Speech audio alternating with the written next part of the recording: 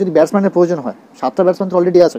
Allrounder batting allrounder বলে বা bowling allrounder বলে একটা ফুল টাইম বোলার যদি সে উইকেট টেকার হয় তাকে বসিয়ে একটা অলরাউন্ডকে নেওয়া কি উচিত? সাতটা ব্যাটসম্যান যদি রান না বানায় টিমের আর কে রান বানাবে? এখানে একটা ফুল টাইম বোলারের কি প্রয়োজন হয় না? সো আজকের আমরা যে বিষয়টা নিয়ে আলোচনা করতে চলেছি সেটা হচ্ছে টপ ইলেভেনে ইন্ডিয়ার প্লেয়িং ইলেভেনে কে কে খেলবে বিশ্বকাপে?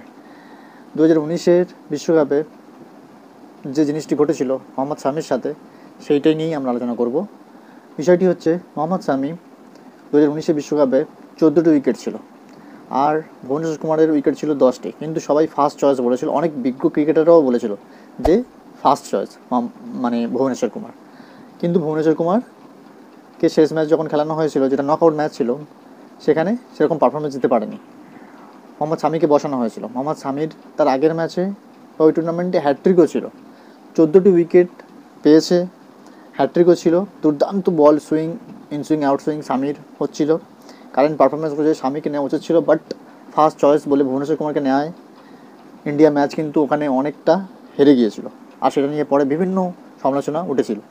এবারেও সেম একই জিনিস ঘটতে চলেছে ফার্স্ট চয়েস বলে শরদুল ঠাকুরকে নেওয়া হচ্ছে।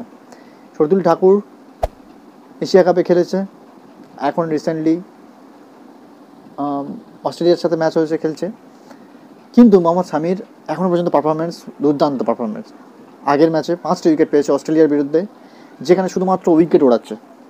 শুধুমাত্র ইনসুইং আউটসুইং শুধু বোল্ড হচ্ছে। দুর্দান্ত বল দেখে মজা আসছে। সেখানে শরদুল ঠাকুর, যেখানে একটা পার্ট টাইম বোলার সেখানে কি করবে? প্লেয়িং ইলেভেনে কি শরদুল ঠাকুরকে আবার চান্স দেওয়া হবে? ফার্স্ট চয়েস বলে মোহাম্মদ সামিকে বসিয়ে। এটা নিয়ে আমাদেরকে আওয়াজ তোলা উচিত। স্বামীর সাথে এরকম আগেও হয়েছে, আর এখনও সেটা যেন ঘটতে চলেছে সেটা আমরা যেন দেখতে পাচ্ছি।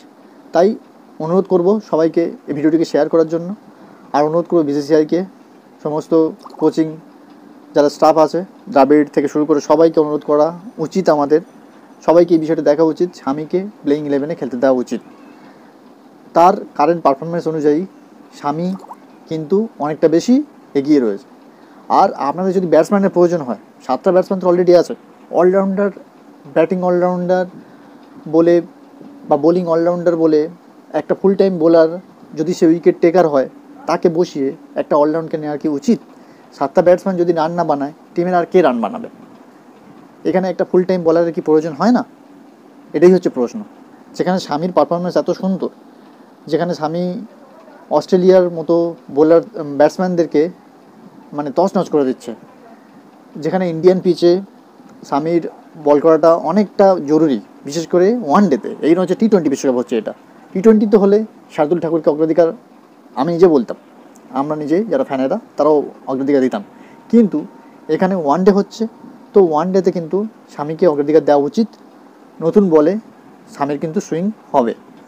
তো যখন তিনটে বারুদ বোলার খেলবে, Bumrah first then Mohammed Siraj then Shami, তিনটে বারুদ বোলার যখন তাদের বল থেকে আগুন যখন বেরোবে তখন কি আর সামনের টিম কি টিকতে পারবে? আর যখন একটা শার্দুল ঠাকুর আসবে, তখন অলরেডি তাদের থেকে প্রেশার একটু কম বলে মনে হবে। অবশ্যই অন্য টিমের একটা প্রেশার কম বলে মনে হবে, কারণ শার্দুল ঠাকুর কিন্তু উইকেট টেকার নয়। শার্দুল ঠাকুর একটা পার্ট টাইম বোলার হিসেবে এখন আছে। অবশ্যই সে একটা ভালো ক্রিকেটার বাট কম্পারেটিভলি স্বামীকে সুযোগ দেওয়া উচিত। যেটা দু হাজার উনিশে যে ভুলটা হয়েছিল, সেই ভুলটা আমরা আর দ্বিতীয়বার দেখতে চাই না। তাই এবারে আমরা যে করেই হোক বিশ্বকাপ জিতে চাই।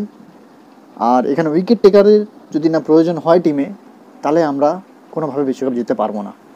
অনুরোধ করব ভিডিওটিকে বেশি থেকে বেশি শেয়ার করবেন আর কমেন্ট করতে ভুলবেন না। আপনাদের মতো জানাবেন কি স্বামীকে কি নেওয়া উচিত, না শারদুল ঠাকুরকে নেওয়া উচিত। Please make sure to comment and please make sure to subscribe to the channel thank you so much